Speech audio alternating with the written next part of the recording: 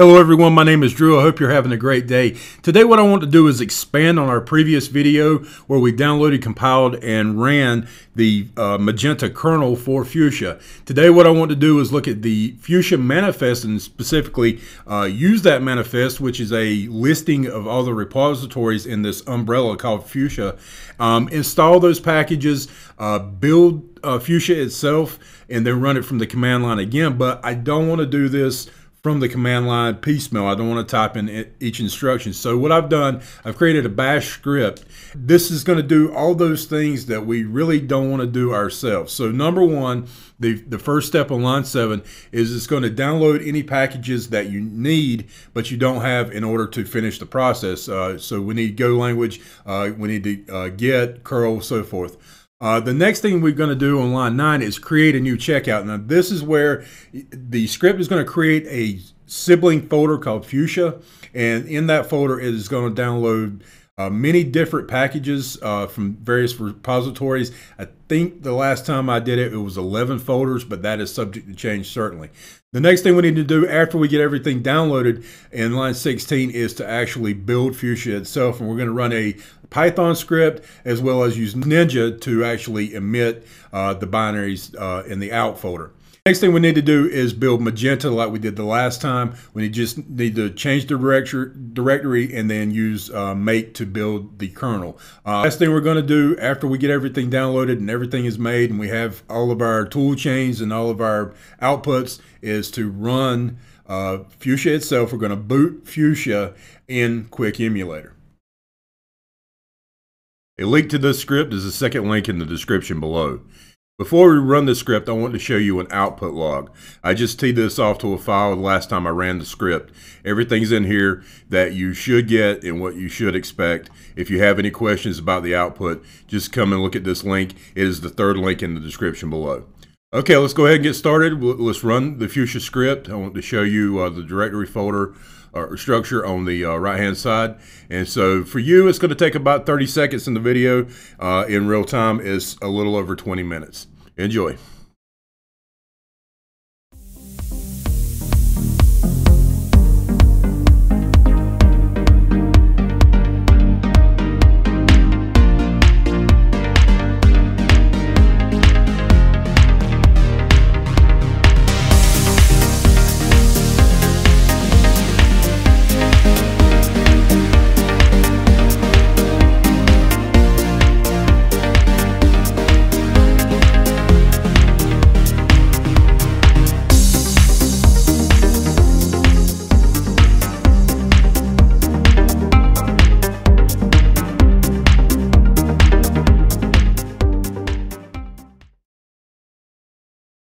Okay, now that we have a command prompt, let's get into running some uh, small applets.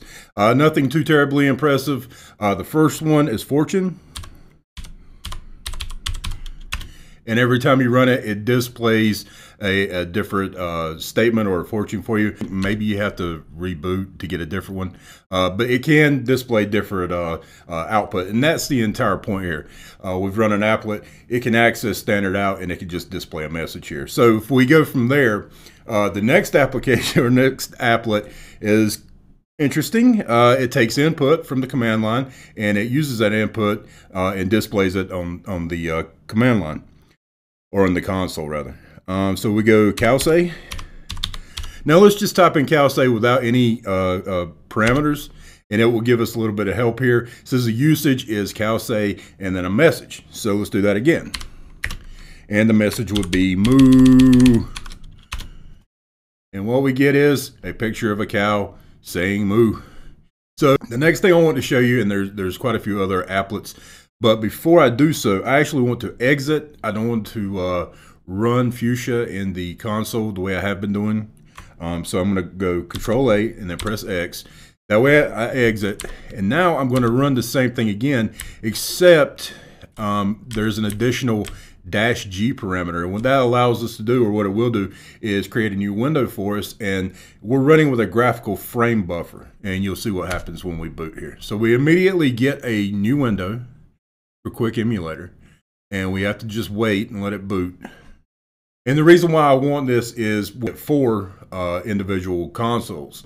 And that is going to be important because some of the applications that have been written so far, uh, or applets rather, uh, one like clock, you can't exit. W once you run that command, uh, the only thing that you can do is uh, just let it run. So I'm going to use, consume some of my uh, terminals just to run a single program. So I need to click here and I'm going to use uh, on the, the first page we have here is just a, a boot log. It's like dmesg or dlog. Um, there's nothing you can really do here. It's going to uh, display everything that the operating system does uh, depending on what commands you enter.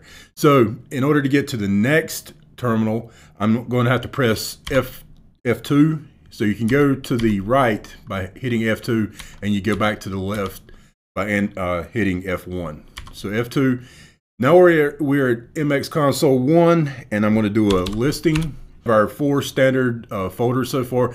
Dev is a virtual uh, folder for devices. Boot is the most interesting of all uh, folders. It contains a bin and applications folder, and that's what we're going to get into. And the last two, temp, never seems to be used uh, uh, so far anyway, and data as well. Um, so let's change directories into boot.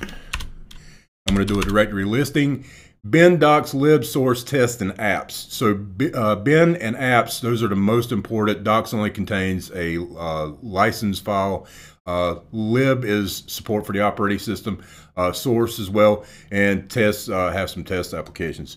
So let's uh, change directory into bin, do a directory listing. and we get several applications or applets that we can run. the first one that I want to do here. I'll go ahead and waste or, or lock up this uh, uh, terminal by typing in clock. And if, uh, if, you'll see where my cursor is, it's going to display a clock here. The time is wrong. Uh, I don't know how to set the time, uh, but it, it does its thing. And it's saying right now that it's 6.32 p.m. Testing the system clock, it's getting information from uh, further down in the system, and it's displaying that on the screen. Military time is kind of curious, but hey, uh, it does work. So now that we can't exit this application, uh, Control C, Control X, Control S, none of that stuff works in order to exit. Um, the only thing that we can do from here is just press F2.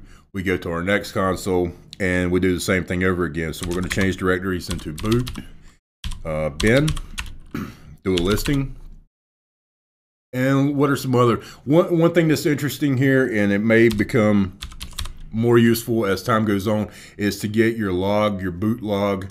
Um, you can do, you can type in dlog and everything that has occurred up to this point uh, is, is, displayed on the screen. Now, I do not know, and redirection does not work. Um, I do not know how to get this information outside of Quick Emulator and be able to say paste it as a GitHub gist. Uh, as, as of yet, I don't know how to do that, but I'm sure that's coming. So let's go and do a directory listing again. VM test with an S.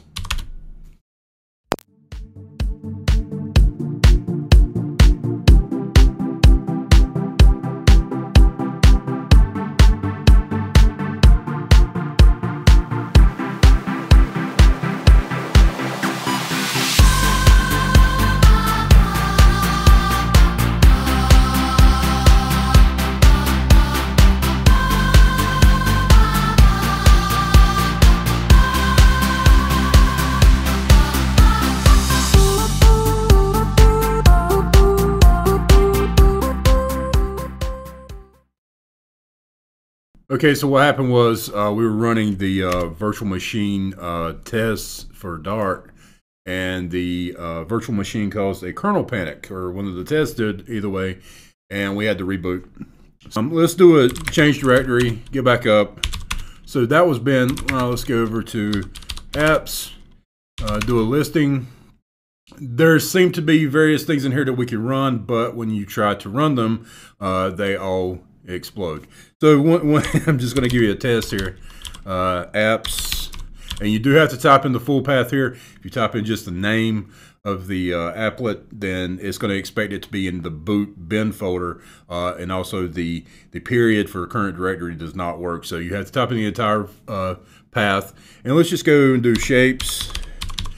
I do believe that this is a Flutter-based uh, app, but every time I run it, it gets an invalid handle. Um, and then it just bombs out. Uh, I do want to get this thing booting up with a graphical front end. Now, keep in mind, Flutter is the material design uh, user interface or front end for Fuchsia. And whenever I figure out how to use it, whenever I figure out how to boot uh, Fuchsia with Flutter, you will be the second to know. As soon as I do that, I will create uh, another video about it. For now, what I'm going to do, uh, now that I've got actual, uh, sorry, Fuchsia uh, repository downloaded and we are able to boot in Quick Emulator, my next video, and it's something that I'm going to work on post haste, is getting this to boot at least a Magenta kernel on a Raspberry Pi 3. So if you want to be notified when that happens, uh, click the subscribe button. And the moment I open uh, upload that video, you will be given a notification by uh, YouTube. Um, thank you so much for watching this video. If you like it, please click the thumbs up button. And again, if you want notifications for any of the videos to get uploaded in the future, please click the subscribe button. Thank you so much.